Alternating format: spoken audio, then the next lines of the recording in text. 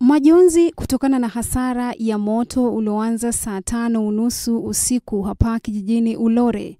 Watoto watatu, wawili pacha wa miaka mitatu na mwingine wa miaka sita waliokuwa wamelala wakiteketea hadi kufa. Moto inanikujia mali penye nililala kwa kitanda, alafu na nikatoka nje. Kutoka nje napata kama moto iko na nje, haikukuwa na ndani, na watoto pia walikuwa wanalala kwa kiti.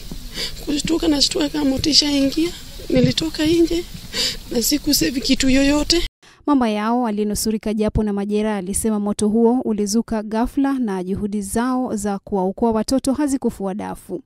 Majirani waliokuja kusaidia pia hawakuweza kufanya kubwa, kwani tayari moto ulikuwa umeteketeza sehemu kubwa ya nyumba hiyo.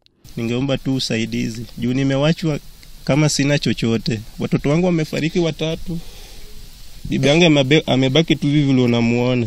Polisi mjini Siaya wameanzisha uchunguzi kufuatia tukio, huku mabaki ya miili ikipelekwa katika hifadhi ya maiti hospitali ya rufaa ya Siaya. Zainab Said, K24, saa moja.